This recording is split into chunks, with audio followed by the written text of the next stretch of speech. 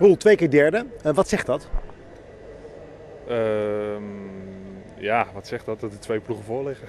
twee keer. Ik bedoel, een herkansing is net wat anders dan een heat. Als je in de heat hebben een aantal ploegen door van ja, weet je, er valt niks meer te halen. Dus uh, we zakken een beetje terug. En je merkt gewoon in deze herkansing dat er gewoon echt uh, vol gesprint wordt vanaf de eerste halen om natuurlijk die finale in te roeien. Op uh, veel Olympische venues wordt er geklaagd over het publiek in de zin van dat er heel veel lege plekken zijn. Maar dat probleem doet zich hier niet voor geloof ik hè? Nee, als ik zo kijk dan zit die hele tribune afgeladen vol. Ik vind het wel mooi. Ik bedoel, uh, ja, dat is toch wel. Engeland is natuurlijk zelf ook op een roeiland. Er zijn ook heel veel Nederlandse fans. Dus ja, ik had ook niet anders verwachten dat het hier hartstikke druk zou zijn. Ja, bij de finish echt een orkaan van geluid.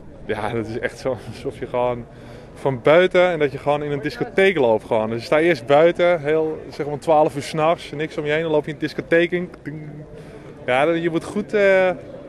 Ja, dat weten we ook. We hebben het, we hebben het nu uh, twee keer meegemaakt, dus uh, dat weten we nu. En ja, dat geeft ook wel een adrenaline kick natuurlijk.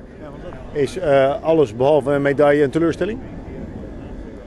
Ehm, ja, ja, tuurlijk. Bedoel, je kom hier gewoon voor de medailles. Dus als je vierde wordt, dan bouw je natuurlijk wel weer aan zijn stekken. Ja. Ik bedoel, dan, dan, dat, is, dat is wel een teleurstelling, ja.